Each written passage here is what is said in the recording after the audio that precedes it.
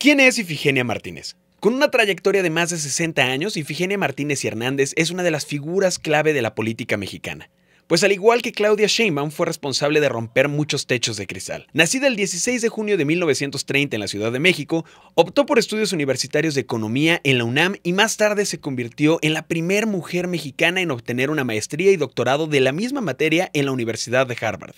A su regreso, inició su carrera académica como profesora en la Facultad de Economía de la UNAM, de la que después se volvió directora. En el plano político se recuerda a Ifigenia Martínez como cofundadora del Partido de la Revolución Democrática, el PRD, junto a figuras como Cuauhtémoc Cárdenas y Porfirio Muñoz Ledo. Dentro de su agenda destacaron los derechos de las mujeres y el compromiso con la democracia. En su currículum está haber sido diputada federal en cuatro ocasiones, incluida esta última, senadora en dos periodos, de 1988 a 1991 y de 2018 a 2024.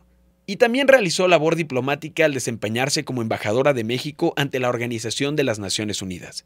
Martínez ha jugado también un importante papel en la defensa de los derechos humanos, la equidad de género y la dignidad salarial, trabajo que le ha valido recibir más de un galardón a lo largo de su carrera. Entre estos destacaron el Premio Nacional de Economía en 1960 y el título de la Mujer del Año en 1966. Hoy, como presidenta de la Cámara de Diputados, le corresponde a Ifigenia Martínez entregar la banda presidencial a Claudia Sheinbaum, una mujer a cargo de la investidura de otra mujer, un suceso que simboliza el avance del liderazgo femenino en la política en México.